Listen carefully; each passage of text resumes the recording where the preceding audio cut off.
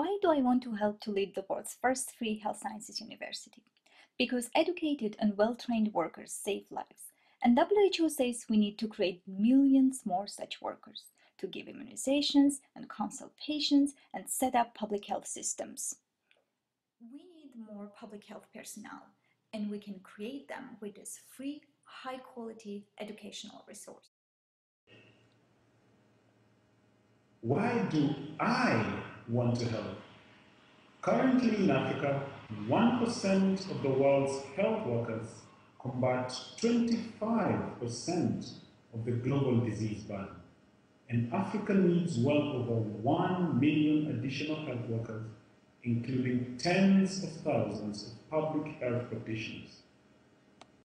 Like people around the world, my countrymen and I want to stay with our families, but still be able to learn, protect, and heal our neighbors.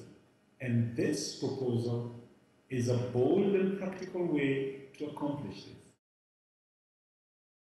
And we have the right partners to create this university, especially a public health pilot with organizations like the World Health Organizations and the Centers for Disease Control and Prevention have a revolutionary and efficient method to create high-quality trainings for free, marrying existing expert-created competencies with high-quality existing resources, and then migrating them to a learning platform.